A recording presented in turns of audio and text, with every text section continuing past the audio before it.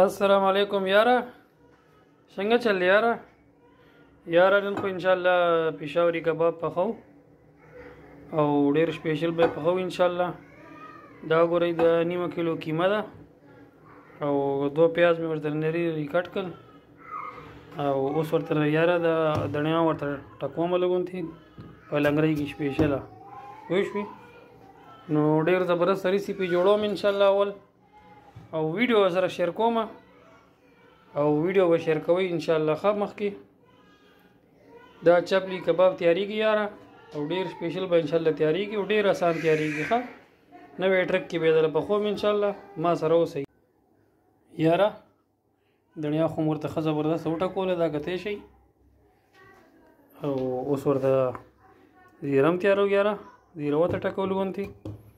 او بیا انشاءالله نورې مثالي مثالي او شین مرچکې او سور مرچکې او اخوا دې خوا هغه پکې انشاءالله بیا اټکو ښه ټیک ته یاره یاره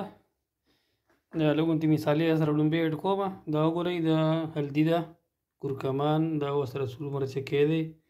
دا زیره موټه کوله دا مالګه ده دا لوګوندې ګرمه مثاله او لوګوندې شین مرچکې او دڼیا ما ډېره ټکولې ده خو په ځای کې به پکې ځاچوم او دې کې مې زره غوندې د جوارو اوړه واچول نوره ټوله قیمه ده لوګوندې ټماټر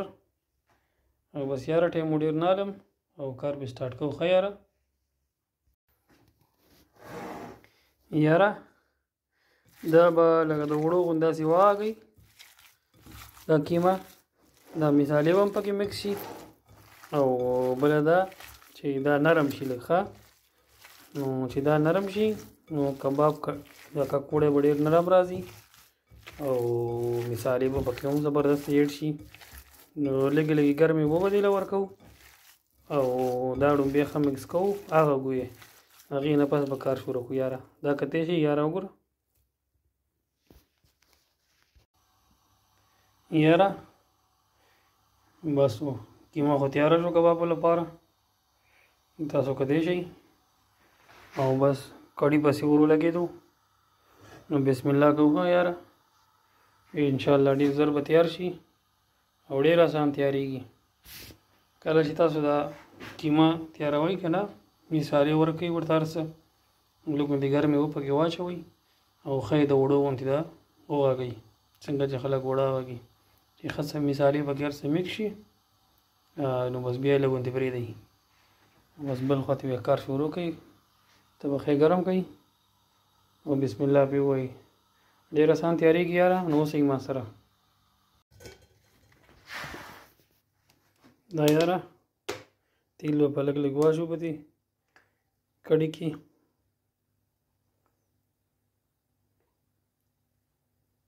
معمولی معمولی ډیر تیل نه لګ لګ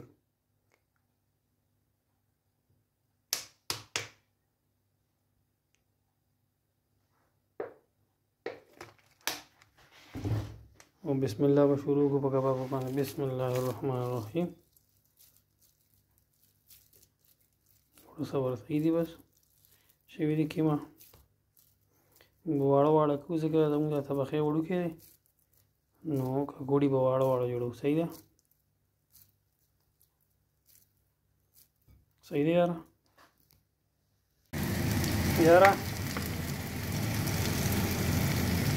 دا وګورئ ښه یاره دې سره به داسې کار کوو دې کې به تیل ډېر نه اچو د پاسه به لږ لږ اچو او لږ لږ به لاندې دا یاره کباب تیارېږي لګا دی یاره ډېره زبردسته مزه به وکړي ډېر شک به وسي ښه یاره ډیر اسان تیاریږي ټرای کوي یاره کله نه کله بس وړه وړه ککوړي به جوړو پکې او بس په دمه دمه به یې کوو ډېر زر کېږي ډېر زبرست به کېږي انشاءالله ښه یاره ها یاره یاره ګورئ که نه چبلي کباب څنګه را روان دي د خیره ډېر چک په واچوي د خیره ډېر احسان چلی دی یاره او ډیر زیات اسان پخیږي ښا بس برابر برابر ککوړی اچوي او تیل لګ ورکوي او بس زبردست کار دی خولې تی مزه تی ولې یاره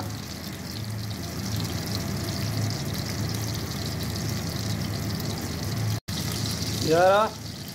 ډیر زباه را روان دي ښا ما ته یو پکوړې چک کو ډیر زبردست مایزه و هر څه خو زبردست برابر دي او دا تاسو کته شي ویډیو به لازمه شیر کوئ ښه یاره او ډیر آسان ریسیپي ده او ډیر آسان چلې دی بس لګو ان تیل اچوي او بس واړه واړه کپوړي جوړوي او ورغورځوي یې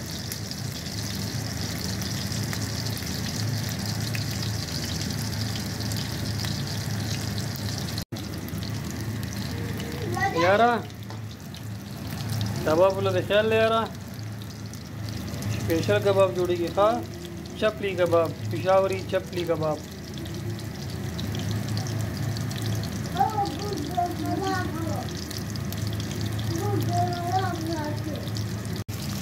یاره بس دغه پاتې شو ښه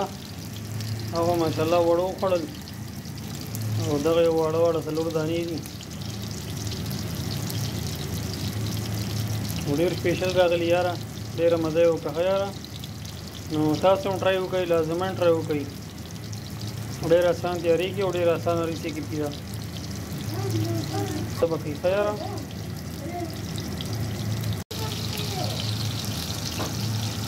یاره خپل خیال ساتئ یاره او بس زم دا خیری راو بارم دا کباب ان شاء الله زه ورته کینم وړو نه ماشاءالله ټول ختم کړ چې زه خبرې دم ما دلته راوېستل بتای به خړلې ماشاءالله نو دا ډېر سیمپل ریسیپي ده او لازما ټرای وکړئ کور کې او ان شاء الله مزي وځوالي اوکې یاره خپل خیال ساتئ السلام علیکم یاره